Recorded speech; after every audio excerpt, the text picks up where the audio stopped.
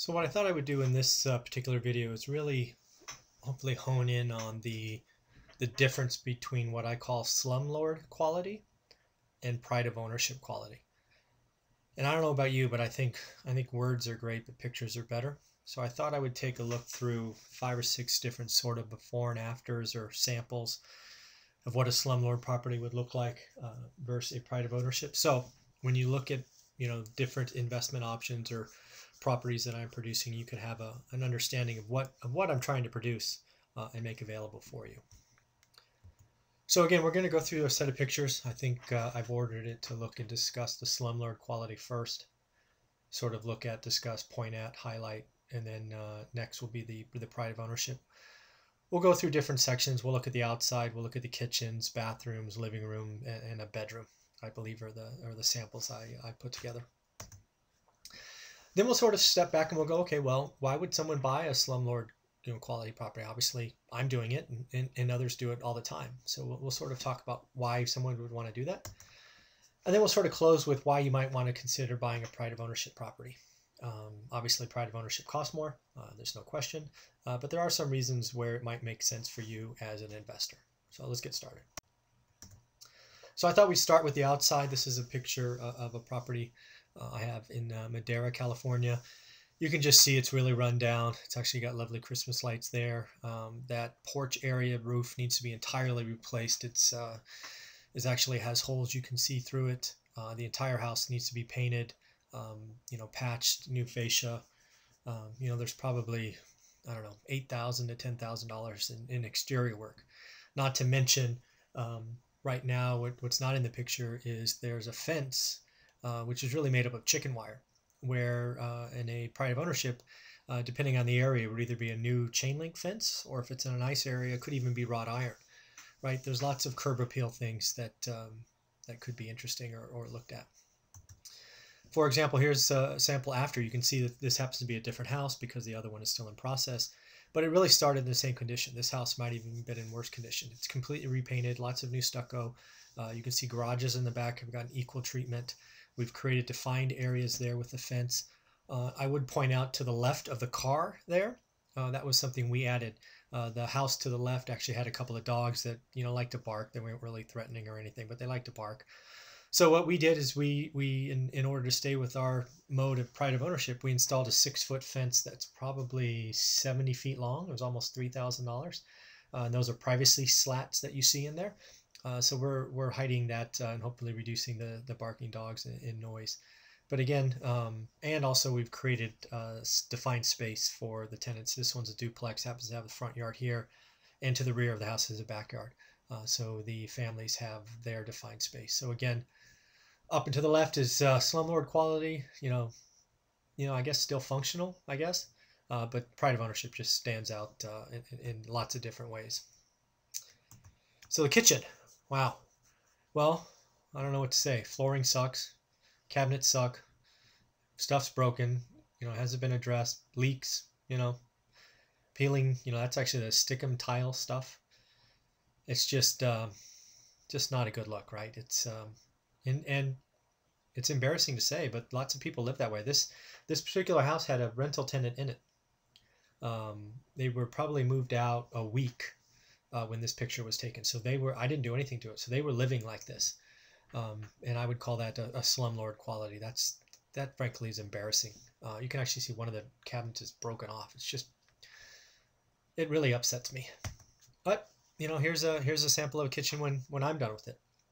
Uh, you know, start from the floor, right? All new flooring. Um, we're not doing the little square stickums. We're, we're um, you know, we're doing, uh, looks like wood there uh, brand new cabinets, uh, new uh, silver doorknob, or you know, I don't know what you call those, jewelry, I guess. Undermount sinks to help prevent uh, leaks and whatnot. New faucets. We actually added a, a range um, vent there, uh, and then of course we'll move in a new stove, a new stove, right? New stove, as opposed to you know what to the left was a used stove clearly, and new refrigerator. So it's just it's just different, right? It's it's it's um you know the quality that frankly I you know you know maybe you know, something that would be where I live, I'd feel good about. And that's really the definition of pride of ownership, right there, right? You're gonna you're gonna have something that um, you don't mind having in your inventory versus to the left it's you know how long can i band-aid to band-aid that together and ask someone to pay rent? It's just upsetting. Here's a bathroom. This is actually not the worst i've seen right? It's probably still functional. Uh, but that's just one sheet of long stickum tile down there uh, old mismatched tub to the right. There's a shower. You can see one of the tiles is cracked old toilet just this weird green color um, you know, this is uh, slumlord quality bathrooms go. It's not horrible. I've again seen a lot worse, but it's again something that's like uh, not something that I want to produce and, and call and be proud of owning. Where in this case, right, you know, you have everything's new. Uh, you've tiled the um, the shower. You've you know, in this case, put in a new window. You've put in a new vanity with mirror and lights, and you know, you added the towel, the little, little jewelry, and, and, and new new flooring. In this case, it would have been tile uh, on the floor plus a new toilet. Uh, also added a little accent wall on the tile there, right? So that's that's you know pride of ownership quality that you could be happy to sort of have in your portfolio. Let's look at a bedroom. This is um, again, this is that house that had a tenant living in it. Um, it's disgusting that somebody was paying rent to live like this. Um, the floor is um, destroyed, walls beat to nothing. Popcorn ceiling sort of half stripped up top. Just again, uh, upsetting and, and um, just not okay.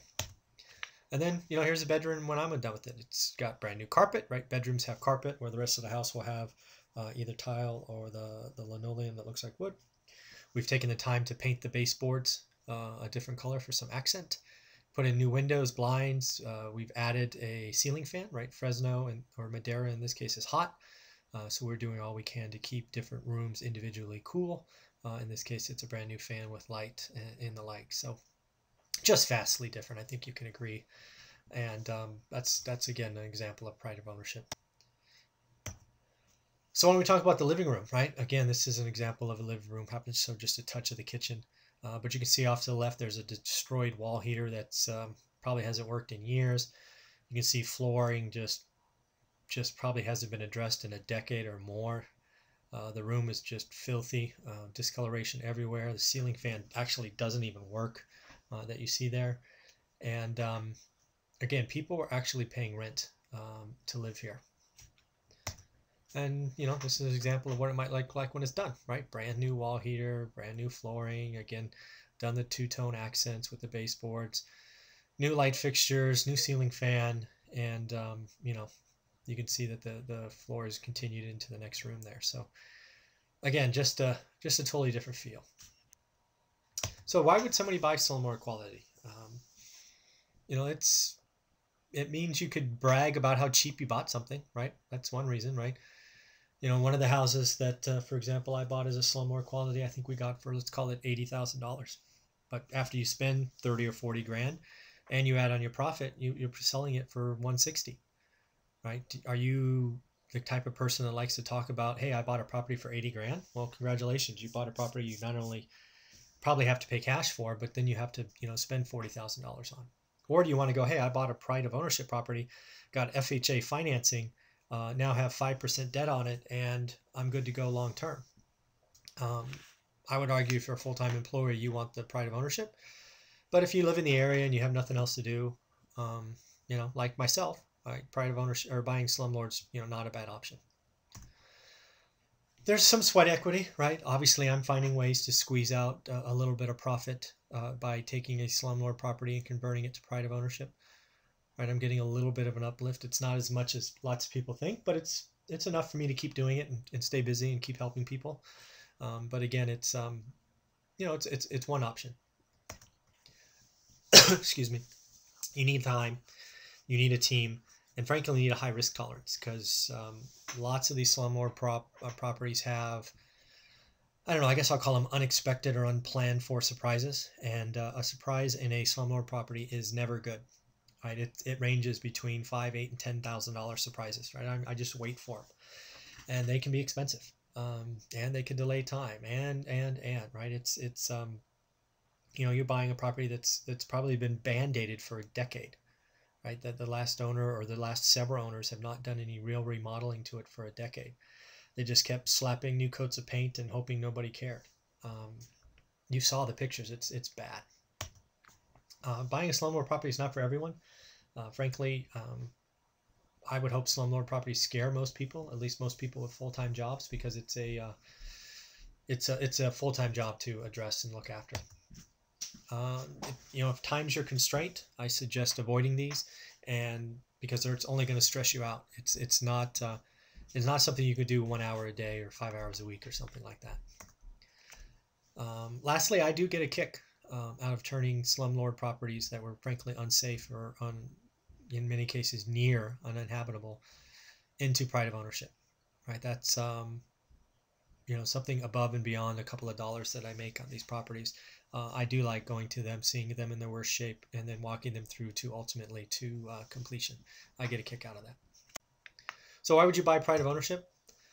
Well, frankly, you get to finance what I'll call legacy repair costs, right? If you're buying a pride of ownership property, the person you're buying it from, if you buy from me or from others, probably spent 20, 30, 40, 50, 60, 70 grand in some cases. And they did that with cash, right? They probably bought the property with cash. They certainly did the repairs with cash.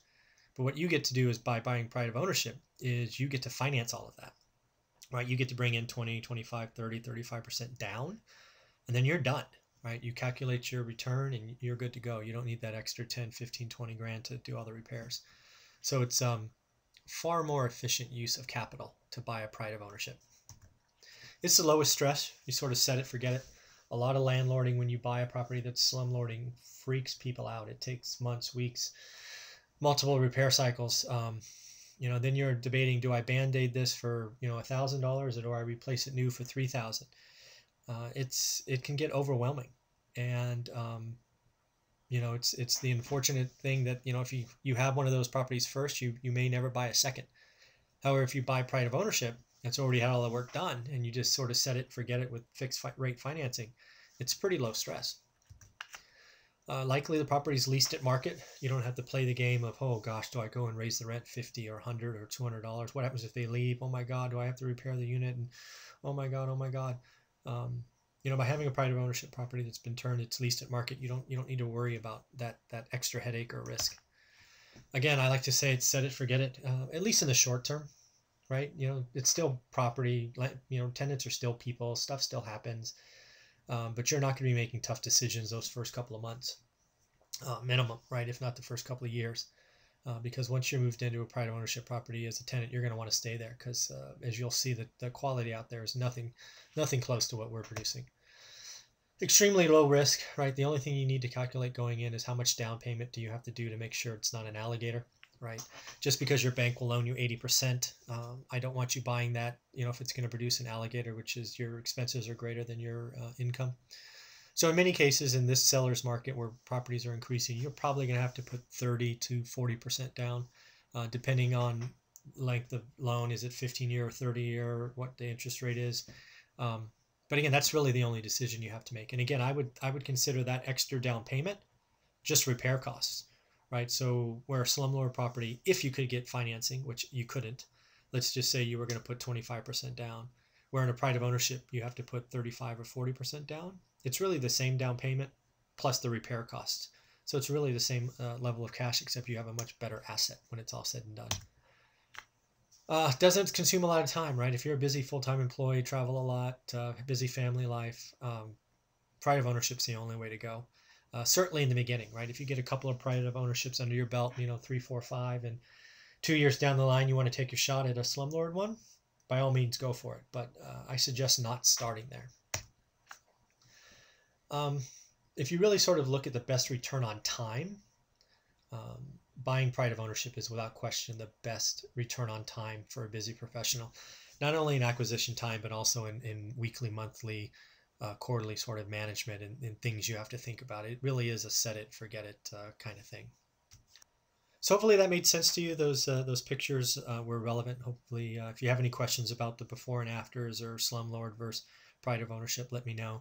Uh, the videos before this one actually um, talk about some single family homes that I'm bringing to market with pride of ownership.